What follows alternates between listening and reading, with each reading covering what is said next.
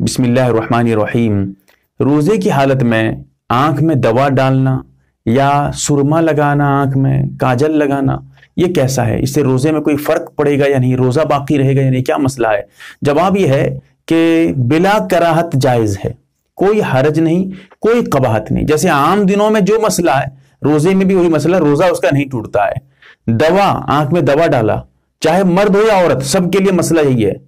दवा डाला और दवाई में इतनी सख्ती थी दवा इतनी तेज थी कि उसका असर उसके हलक में महसूस होने लगा।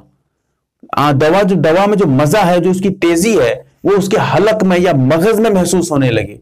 तब भी रोजा नहीं टूटा। अब भी रोजा उसका बाकी है कोई हरज नहीं। इसी तरह काजल लगाया गया आँख में या आँख में सुरमा लगाया। सुरमा भी कोई कोई सुरमा बहुत तेज होता है। वो सुरमा लगा लिया कि जिससे बिल्कुल उसके हलक में जो है सुरमे का मज़ा आने लगा। फिर भी रोजा नहीं टूटा।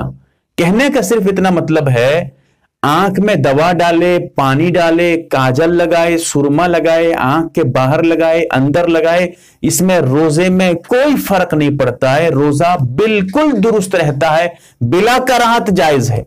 रोज़े में सुरमा लगाना साबित है हदीस से। अल्लाह के रसूल सल्लल्लाहु अलैहि वसल्लम ने सुरमा लगाया भी है। बहर कैफ अल्लाह ताला हमें समझने की तौफीक दे। आमीन या रब्बल आलमीन।